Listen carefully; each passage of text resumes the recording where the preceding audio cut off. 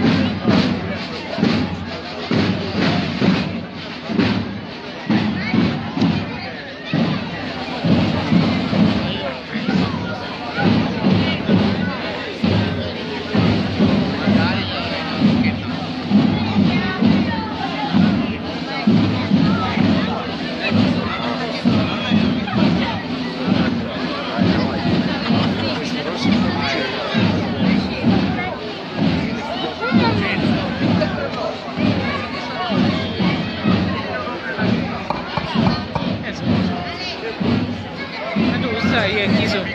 Hah?